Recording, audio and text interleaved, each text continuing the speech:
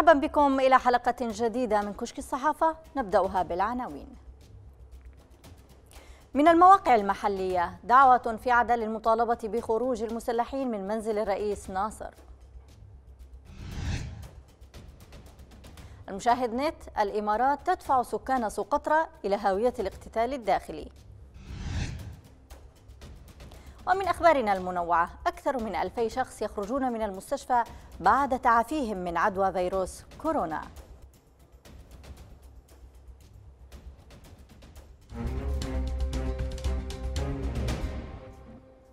علي ناصر محمد رئيس جمهورية اليمن الديمقراطية الشعبية لفترتين رئاسيتين حيث عمل رئيسا لمجلس الرئاسة خلال عام 1978 ورئيسا للجمهورية في 1980 لكنه الآن رئيس بلا منزل فقد تم البسط على منزله في عدن وليس له وهو ينشر هذه الأيام مذكراته إلا أن يناشد المتضامنين معه بألا يتوقفوا. ووفقا لعدن الغد تشهد عدن الإعلان عن موعد الوقفة التضامنية الثانية مع الرئيس علي ناصر محمد بعدن. وقال الموقع إن اللجنة المنظمة للحملة الشعبية للتضامن مع الرئيس علي ناصر محمد أعلنت عن موعد إقامتها للوقفة الاحتجاجية والتضامنية مع الرئيس ناصر بعدن. وصرح هشام الحاج رئيس الحملة الشعبية بأنه تقرر تنظيم الوقفة التضامنية الثانية صباح يوم الاثنين أمام مقر المجمع القضائي ورئاسة الوزراء. وأفاد الحاج بأن الوقفة التضامنية الثانية يشارك فيها النشطاء ومنظمات المجتمع المدني ورواد المنتديات ومحبو الرئيس من أبناء عدن مؤكدا أن الوقفات مستمرة حتى إعادة منزل الرئيس ناصر وإخراج المقتحمين له وأن هناك شكوى سيتم تقديمها إلى النيابة العامة في عدن. وقال الموقع إنه تم توجيه دعوة إلى أصدقاء الرئيس للتضامن معه وإعادة منزله وإخراج من أصبحوا يعيشون فيه. قبل أيام أغتيل عبد الرقيب قزيع في الضالع دون أي جريمة أو ذنب يرتكبه. كان قريبا من الناس جميعا لكن قربه من الناس وابتسامته التي تميزه لم تحمه من القتلة. وفقا للكاتب محمد علي محسن الذي كتب عنه مقالا نشر في موقع الصحوانت مضيفا أي خسارة تضاهي اغتيالك يا صديقي الجميل عبد الرقيب قزيع فهل أنعيك أم أرثي أخلاق الرجال؟ لا أعلم حقيقة أيهما أولى بالرثاء. أنت يا عبد الرقيب أم من اغتالك؟ أم من لا يتورعون عن تبرير الجرائم المنكرة؟ أم نحن المصابين بعضال الجبن والخوف أم المكان الذي بات مرتعا للقتلة واللصوص؟ أم الأمن الذي فقدناه وما عاد له وجود في هذه البقعة الموبوءة بجائحة الهلع من العصابات والمخدرات والسلاح والبارود؟ صدقا أقول لكم ما زلت مصدوما من هول الفاجعة الفاطرة لفؤاد كل إنسان محب وشغوف بالحياة والحرية والسلام. فما من إنسان سوي إلا ويحزنه ويؤلمه رحيل الرجال وبهذه الطريقة الغادرة. فبرغم أننا في حرب حاصدة لمهج الكثير من الأصدقاء والأقارب والمعارف والأبرياء إلا أن حزني ووجعي كبير وعظيم على عبد الرقيب ورفاقه ممن اغتالتهم أيادي الغدر والعار. تبا للقتلة ولكل شخص يساوم على مهج ودم الأبرياء. فلا أحد أيا كان موقعه ومنصبه ودوافعه يمكنه إقرار من يموت ومن يستحق البقاء. فسواء أكان قياديا في الإصلاح أو المؤتمر أو الاشتراكي مع الرئيس هادي أو علي محسن أو الميسري أو عيدروس أو باعوم أو أو أو أو فلا حق لمن كان أن يقرر مصيره وكيف ما يريد. فكيف لشخص ينفحك بابتسامة عريضة صباحا ومساء؟ فيكون جزاؤه الموت غدرا وبلا أدنى سبب أو جريرة. وكيف لوجوه مشرقة حالمة لا تملك غير فكرة وسطية وغاية نبيلة؟ أن تكافأ برصاصات غادرة من بنادق قتلة مأجورين احترفوا البغى والعدوان. عذرا يا أصحاب الابتسامة الدائبة فلم يبقى شيء جميل إلا إلا وسممته الكراهية وأحالته التبعية المقيتة إلى دمامل. تحاول الإمارات العربية المتحدة مجددا الانقلاب على الحكومة والسلطات المحلية في جزيرة سقطرى ونشر الفوضى والانفلات الأمني بنشر خلايا مسلحة في مدينة حديبو عاصمة المحافظة ودعم تمرد كتيبة من حرس السواحل على السلطات المحلية. ورفع علم الانفصال وفق تقرير نشره موقع المشاهد نت. الإمارات تدفع سكان سقطرى إلى هوية الاقتتال الداخلي. وبحسب مصادر أمنية فإن هذه المسجدات تأتي في سياق مخططات نشر الفوضى والتخطيط للتمرد والانقلاب على السلطة المحلية. يضيف التقرير تستميت الإمارات في السيطرة على الأرخبيل الواقع في المحيط الهندي على بعد 350 كيلومتر جنوب شبه الجزيرة العربية عبر وسائل شتى. من هذه الوسائل وفق التقرير القيام بانقلاب مسلح تارة وتارة بالمظاهرات ودفع الموالين لها إلى الشارع في حين تقف الحكومة عاجزة. وعلى الرغم من أن الإمارات أعلنت انسحابها من الجزيرة منتصف مايو 2018 بعد صدامات مع الحكومة وعلى رأسها رئيس الوزراء السابق أحمد عبيد بن دغر وبعد وساطة سعودية. بدأت القوات الإماراتية بإخلاء بعض المواقع لتحل محلها قوات الواجب السعودية وقوات يمنية. إلا أن المغادرة كانت فقط للقوات التي وصلت في 30 أبريل 2018 على متن خمس طائرات نقل مع الآليات والعتاد العسكري واستولت على مطار وميناء الجزيرة. تواصل ميليشيا الحوثي بمحافظة ذمار للأسبوع الثاني على التوالي تشييع قتلاها الذين سقطوا في المعارك الأخيرة بجبهة نهم وسرواح وقانية. وجبهات أخرى بمحافظة الجوف. ووفقا لموقع صحوة نت ميليشيا الحوثي بذمار تواصل تشييع قتلاها للأسبوع الثاني على التوالي. وقالت مصادر محلية للصحوة نت إن ميليشيا الحوثي بمحافظة ذمار تواصل بشكل يومي وللأسبوع الثاني على التوالي تشييع قتلاها. وذكرت المصادر أنه تم تشييع أكثر من 35 جثة خلال الأسبوع المنصرم والتي تم دفن بعضها في مقبرة العمودي وسط مدينة دمار والبعض الآخر تم نقلها إلى القرى البعيدة. وأوضحت المصادر أن مستشفى ذمار العام استقبل خلال الأيام القليلة الماضية عشرات الجثث لعناصر الميليشيا من أبناء المحافظة الذين سقطوا في جبهات صنعاء ومأرب والجوف والبيضاء. وأشارت المصادر إلى أن معظم الجثث التي وصلت إلى المستشفى تعود لأطفال لا تتجاوز أعمارهم السادسة عشرة. الدبلوماسي السويدي الذي عمل لفترة طويلة في فلسطين ومؤلف كتاب الجرائم الضحايا والشهود ماتس سفينسون كتب مقالا أعادت صحيفة الغد نشره مترجما إلى العربية. نواصل نشر مقتطفات منه نظرا لأهميته. منذ وقت طويل قال أحد قادتنا نحن نتأكد فقط من بقاء العالم منخرطا في عملية سلام مستمرة لكننا لم نوقع اتفاقية السلام أبدا. واليوم يواصل الإسرائيلي. نحن نكسب كل يوم ولم يعد هنالك المزيد لنأخذه. لن نوقعها أبدا. لكن ما لم يتغير مع ذلك هو أفعال المجتمع الدولي أو عدم وجود أفعال له من الأساس. ثمة بعض الاستثناءات والفصول الموجزة وحدث ما هنا أو آخر هناك لكننا نواصل بصفة عامة تعميق علاقاتنا مع أولئك الذين يمارسون الاحتلال والاستعمار. وما أصبح يعني اليوم الفصل العنصري. حدث لقائي الحقيقي الأول مع الواقع في عام 2004 في قطاع غزة. قابلت فتاة صغيرة كانت قد أصبحت بلا مأوى قبل أسابيع قليلة. دمرت إسرائيل منزل عائلتها. كان مبنى متعدد الشقق أزالته عن وجه الأرض بعض جرافات كاتر بيلر العملاقة. والآن كانت تجلس في غرفة صغيرة للاجئين وتتحدث عن كل الأشياء الفظيعة التي حدثت في ذلك اليوم. لكنها قالت أيضا إنها تشتاق إلى ذلك الطائر الصغير الأحمر والأبيض الذي اعتاد أن يأتي ليتناول الإفطار معها في الشرفة. أذهلني حينها أن الاحتلال أو الاستعمار أو الفصل العنصري ممارسات لا تتعلق فقط بالموت الموت والمزيد من الموت إنها تتعلق أيضا بفقدان شيء صغير بلا توقف.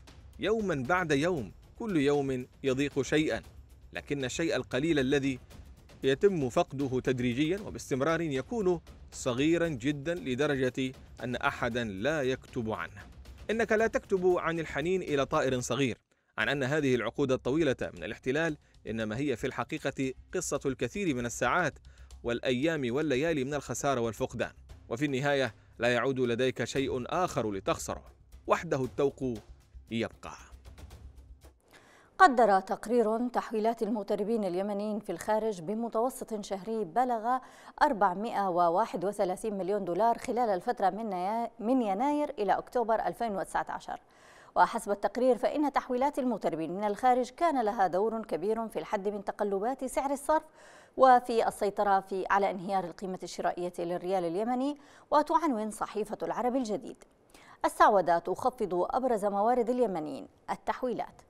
تفيد الصحيفة تحقق هذا الرقم بالرغم من المضايقات الواسعة التي يتعرض لها اليمنيون في عدد من من الدول خصوصا في السعودية.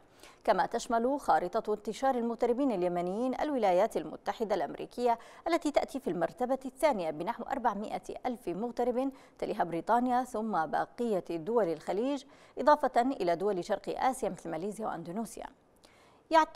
يعتبر الخبير الاقتصادي أحمد السلامي أن تحويلات المغتربين أخرت نوعا ما حدوث المجاعة الشاملة في اليمن إذ أصبح ثلث سكان اليمن يعتمدون عليها كمصدر دخل رئيسي بعد أن تقطعت بهم السبل بسبب الحرب حرب التحالف في اليمن والصراع الدائر الذي أثر كما يقول السلامي العربي الجديد على مختلف الجوانب المعيشية وأدى إلى توقف المرتبات الموظفين المدنيين التي كانت تعتبر شريان الحياة. موقع ألماني يرى أن مقتل قاسم الريمي مثل ضربة كبيرة لتنظيم القاعدة. وعنون موقع دي دبليو مقتل, مقتل قاسم الريمي ضربة موجعة لتنظيم القاعدة في اليمن. عمل الريمي تحت إشراف زعيم التنظيم السابق أسامة بن لادن أثناء إقامته مع عائلته في أفغانستان. وكان يبلغ وقتها من العمر 15 عاما فقط. وخلال ذلك الوقت تمكن من تسلق سلم المواقع القيادية حتى وصل إلى درجة مدرب في معسكر تابع لتنظيم القاعدة. عاد إلى اليمن قبيل الاجتياح الأمريكي لأفغانستان عام 2001 وعمل خلالها تحت قيادة الوحيشي إلى أن السلطات اليمنية في صنعاء قامت باعتقاله عام 2005 وإدانته بتهمة التخطيط لاغتيال السفير الأمريكي في اليمن. تمكن في شباط فبراير 2006 من الفرار من السجن خلال عملية هروب مثيرة برفقة 23 عضوا بارزا في تنظيم القاعدة. وارتبط اسمه عام 2007 بالهجوم الذي استهدف مجموعة من السياح الأسبان وأسفر عن مقتل ثمانية منهم في مأرب وسط اليمن. موته يزيد من تدهور القاعدة في شبه الجزيرة العربية. بالإضافة إلى أن الرؤية الجديدة التي جلبها الريمي معه لتنظيم القاعدة تجعل من وفاته ضربة كبيرة للتنظيم ولشبكة علاقاته في اليمن. فبراير في وجه الطاغوت تحت هذا العنوان. كتب أحمد عبد الملك المقرمي مقاله المنشور في موقع الصحوة نت مضيفا. باتت ثورة الحادي عشر من فبراير وجها لوجه أمام المشروع الظلامي للكهنوت الحوثي ولأن ثورة فبراير هي امتداد طبيعي للثورة اليمنية سبتمبر وأكتوبر فإن من دواعي الواجب والضرورة اليوم أن تتكاتف كل معطيات وأهداف الثورة اليمنية سبتمبر وأكتوبر وفبراير في اصطفاف يواجه هذا المشروع الظلامي المدمر. يتوجب اليوم على الصف الجمهوري أن يوحد قراره وفق أهداف وطنية بحتة وأن يرسخ علاقاته مع أشقائه برؤية أخوية وواضحة على هذا الأساس. والصف الجمهوري وهو يوحد صفوفه عليه أن يعي جيدا أن هذا التوحيد يستلزم أن ينظر إليه على أنه هدف استراتيجي وليس مجرد هدف مرحلي وهو ما ينبغي معه ألا تغري أي طرف في الصف أي استقطابات جانبية يتوهم معها هذا أو ذاك أن بمقدوره أن يستفيد من هذا التعاطي مع أي استقطاب. إن ثورة فبراير اليوم وثوارها غير معنيين بالالتفات إلى الخلف إلا بمقدار ما يمكن الاستفادة منه وإنما عليهم المضي قدما بعزم وإصرار في تحرير الحاضر والمستقبل من المشروع الإمامي للكهنوتية الحوثية. ومن أجل ذلك فلا بد من مضاعفة الجهود وتعزيز الصلات في إطار الصف الجمهوري وهو الصف الذي ينبغي أن يجعل مسألة تحرير اليمن من المشروع الظلامي في مقدمة كل المهام. وأن يتحرك لذلك بكل عزم وإصرار ودون أن يزايد أحد على أحد وأن يبني هذا الصف مجتمعا علاقاته مع بعضه وخارجه بإرادة وطنية خالصة. صحيفة الإندبندنت نشرت تقريرا شارك فيه ثلاثة من مراسليها عن نفس الملف بعنوان فيروس كورونا. الصين تلجأ لقوانين الحرب في ووهان.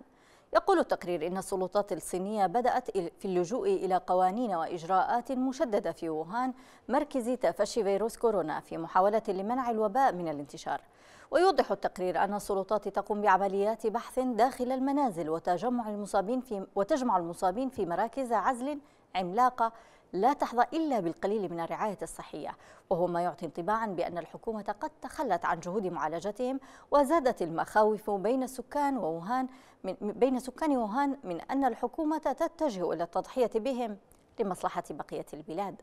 وأشار التقرير إلى أن هذه الإجراءات التي لا تتبع عادة إلا لا تتبع عادة إلا في أوقات الحرب ترجح أن الصين ترتجل في ظل أزمة إنسانية في المدينة التي يقيم فيها 11 مليون شخص ووصل معدل الوفيات بين المصابين بالفيروس إلى 4.1% ويقول التقرير إن الإجراءات الصينية في ووهان تشير إلى أن الحزب الشيوعي يشعر بأنه فشل في السيطرة على الفيروس الذي يهدد بشل أكبر دولة في العالم من حيث عدد السكان.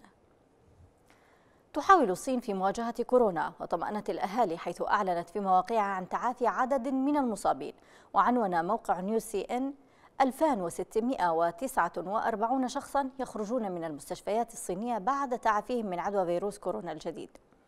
وقالت اللجنة الوطنية للصحة في تقريرها اليومي إن 600 ألف شخص من بينهم 324 في مقاطعة هوبي بوسط البلاد خرجوا من المستشفيات يوم السبت بعد تعافيهم. وحتى نهاية يوم السبت لقي, لقي ما مجموعه 811 شخصا مصرعهم بسبب المرض. وتم تسجيل 37 ألف حالة و198 إصابة مؤكدة بعدوى فيروس كورونا الجديد في 31 منطقة. حفل زفاف جماعي كوري جنوبي يتحدى مخاوف الفيروسات. تمت الاحتفالات مع الكثير من أقنعة الوجه وقد نشرت الجارديان عددا من الصور.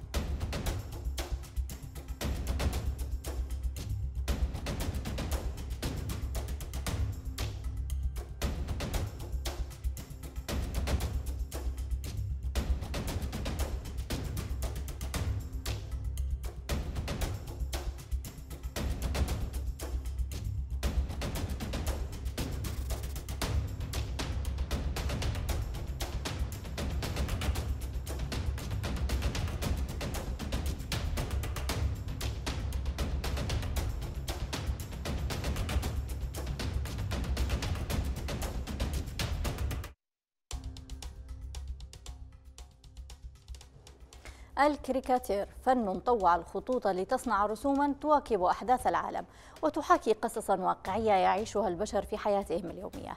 نتابع جزءا من ذلك.